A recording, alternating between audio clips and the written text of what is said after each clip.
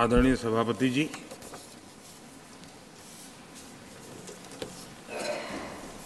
हर दो वर्ष के बाद इस सदन में इस प्रकार का प्रसंग आता है। लेकिन ये सदन निरंतरता का प्रतीक है। लोकसभा पाँच साल के बाद नए रंग रूप के साथ सज जाती है। ये सदन हर दो वर्ष के बाद एक नई प्राण शक्ति प्राप्त करता है, एक नई ऊर्जा प्राप्त करता है, एक नए उमंग और उत्साह का वातावरण भर देता है। और इसलिए हर दो साल में जो होने वाली विदाई है, वो विदाई एक प्रकार से विदाई नहीं होती है। वो ऐसी स्मृतियों को यहाँ छोड़ करके जाते हैं, जो स्मृतियाँ आने वाली जो नई बैच होती है, उनके लिए ये अनमोल विरासत होती है। जिस विरासत को वो यहाँ अपने कार्यकाल के दरमियान और अधिक मूल्यवान बनाने का प्रयास करते हैं। जो आदरणीय सांसदगण अपने कुछ लोग जा रहे हैं, हो सकता है कुछ लोग आने के लिए जा रहे हो। और कुछ लोग जाने के लिए जा रहे हो। मैं विशेष रूप से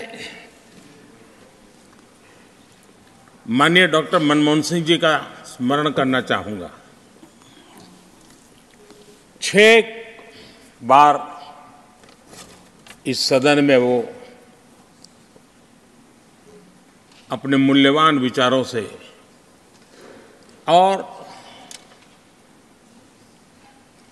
नेता के रूप में भी और प्रतिपक्ष में भी नेता के रूप में। उनका बहुत बड़ा योगदान रहा है। वैचारिक मतभेद, कभी बहस में छिटा कसी वो तो बहुत अल्पकालीन होता है। लेकिन इतने लंबे अरसे तक जिस प्रकार से उन्होंने इस सदन का मार्गदर्शन किया है,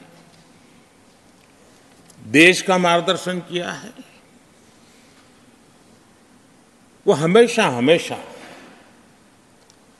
जब भी हमारे लोकतंत्र की चर्चा होगी तो कुछ माननीय सदस्यों की जो चर्चा होगी, उसमें माननीय डॉक्टर मनमोहन सिंह की योगदान की चर्चा ज़रूर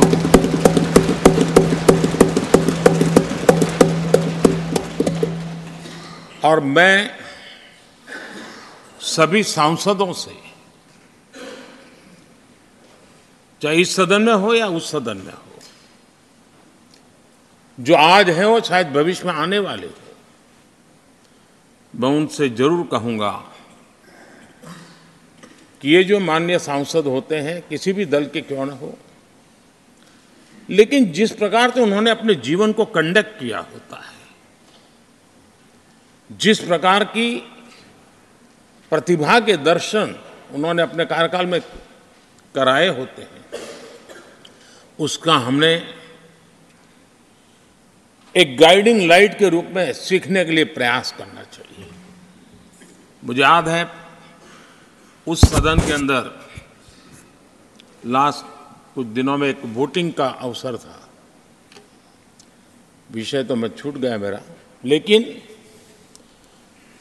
पता था कि विजय ट्रेजरी बैंक की होने वाली है।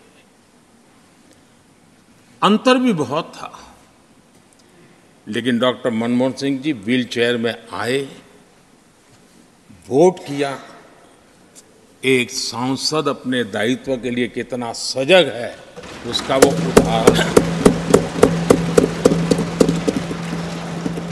वो प्रेरक उदाहरण था। इतना ही नहीं, मैं देख रहा था कभी कमिटी के चुनाव हुए, कमिटी मेंबर्स के। वो व्हीलचेयर में वोट देने आए। सवाल ये नहीं है कि वो किसको ताकत देने के लिए आए थे। मैं मानता हूँ वो लोकतंत्र को ताकत देने आए थे।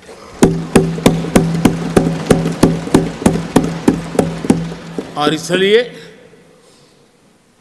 आज विशेष रूप से मैं उनके दीर्घायु के लिए हम सब की तरफ़ से प्रार्थना करता हूँ, वे निरंतर हमारा मार्गदर्शन करते रहें, हमें प्रेरणा देते रहे। आदरणीय सभापति जी जो हमारे साथी नए दायित्व की ओर आगे बढ़ रहे हैं, इस सीमित विस्तार से एक बड़े विस्तार की तरफ़ जा रहे हैं, राज्यसभा से निकल करके जनसभा में जा रहे हैं तो मैं मानता हूँ उनका साथ यहाँ का अनुभव इतने बड़े मंच पर जा रहे हैं तब देश के लिए एक बहुत बड़ी पूंजी बनकर के निकलेगा।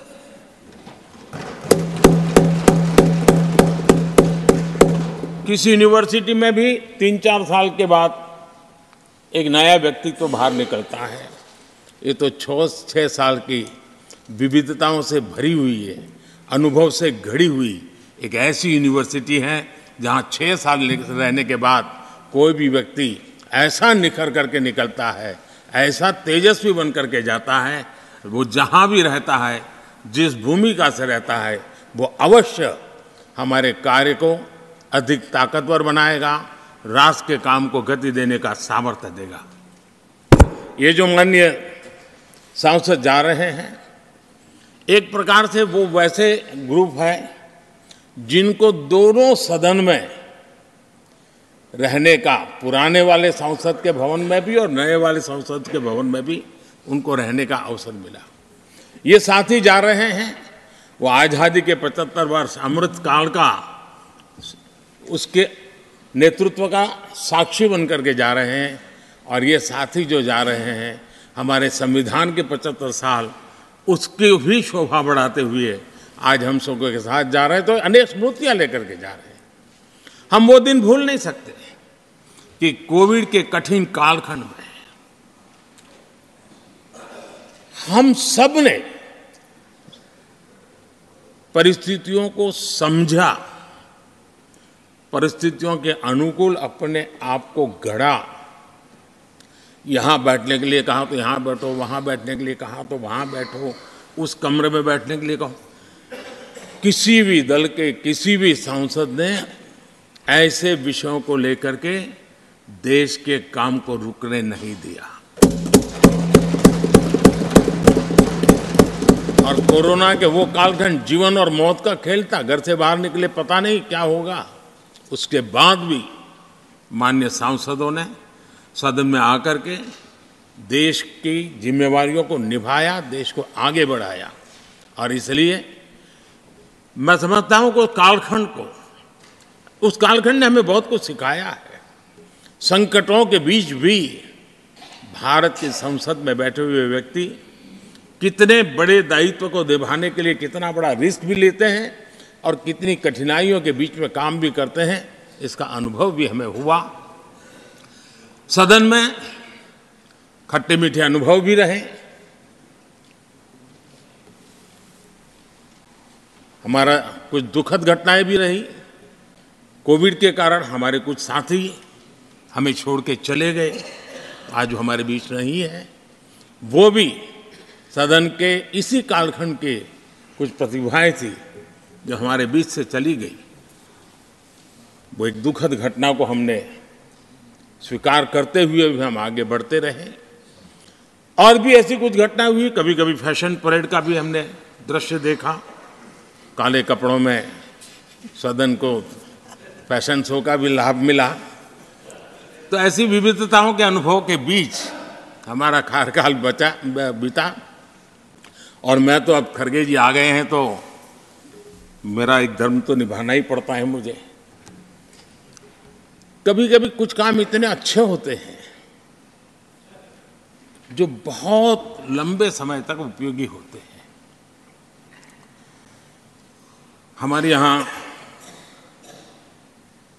कोई बच्चा कुछ अच्छी चीज़ कर लेता है, कोई बच्चा अच्छे कपड़े वपड़े पहन करके अवसर के लिए तैयार होता है तो परिवार में एक आध स्वजन आ जाता अरे, किसी की नज़र लग जाएगी।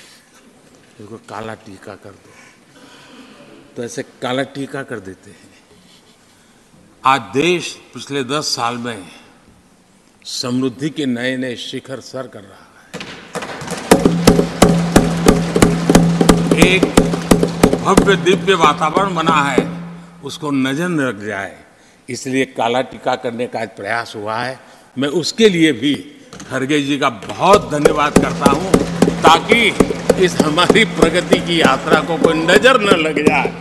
ये नज़र न लग जाए, इसलिए आपने आज जो काला टीका किया है, मैं तो सोच रहा था सब काले कपड़ों में आएँगे, लेकिन शायद काला जोदू खिंचते खिंचते खिंचते ब्लैक पेपर तक चला गया है। लेकिन फिर भी मैं उसका भी स्वागत करता हूँ, क्योंकि जब भी अच्छी बात होती है, काला टीका नज़र न लग जाए इसलिए बहुत ज़रूरी होता है, और उस पवित्र काम को, और आज जिस उम्र के हैं, उस व्यक्ति जब ये काम करता है तो जरा अच्छा रहता है। तो मैं इसके लिए भी आपका आभार व्यक्त करता हूँ। आदरणीय सभापति जी, ये विषय कोई लंबे समय, लंबा बोलने का तो है नहीं, लेकिन हमारे यहाँ शास्त्रों में एक बहुत बढ़िया बात कही गई है। शायद हमारे सब साथी जा रहे हैं तो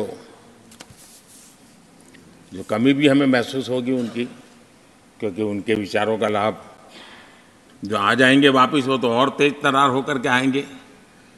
जिसको हमला करना है, वो भी मज़ेदार हमले करेंगे, और जिसको रक्षा कवच करना, बनाना है, वो भी बढ़िया बनाएँगे। वो अपना काम चलता रहेगा। हमारे यहाँ शास्त्रों में कहा गया है गुणा गुणज्ञेशु गुणा भवंती गुणा गुणज्ञेशु गुणा भवंती ते निर्गुणम प्राप्य भवंती दोषा। ते निर्गुणम प्राप्त, प्राप्य भवंती दोषा। आस्वाद्य तोया प्रवहंती नद्य। समुद्र मासादय भवंतय पेया। उसका मतलब है, गुण, गुणी लोगों के बीच रहकर गुण होते हैं। जो गुणी लोगों के बीच रहने का मौका मिला तो उनके साथ रहने से हमारे भी गुणों में बढ़ोतरी होती है। निर्गुण को प्राप्त करके वो दोष युक्त हो जाते हैं। अगर गुणियों के बीच में बैठते हैं तो गुण तो बढ़ जाता है, लेकिन गुण ही नहीं है तो दोष बढ़ जाते हैं। और आगे कहा है, नदियों का जल तभी तक पीने योग्य होता है जब वो बहता रहता है। सदन में भी हर दो साल के बाद नया प्रवाह आता है। और जब तक बहता रहता है लेकिन नदी कितनी ही मीठी क्यों ना हो, पानी कितना ही स्वादिष्ट क्यों ना हो, लेकिन जैसे ही समुद्र से मिल जाती हैं, वो किसी काम की रहती नहीं है, उसमें दोष आ जाते हैं दोष युक्त हो जाते हैं, और इसलिए समुद्र को प्राप्त करने के बाद पीने योग्य नहीं रहता। मैं समझता हूँ ये संदेश हर एक के जीवन में प्रेरक रहेगा। इसी भावना के साथ जो साथी समाज जीवन के एक बहुत बड़े फलक पर जा रहे हैं, इस जीवंत यूनिवर्सिटी से अनुभव प्राप्त करके जा रहे हैं। उनका मार्गदर्शन, उनका कर्तृत्व राष्ट्र के काम आएगा, नई पीढ़ी को प्रेरणा देता रहेगा। मैं सभी साथियों को हृदय से अनेक अनेक शुभकामनाएँ देता हूँ। बहुत बहुत धन्यवाद।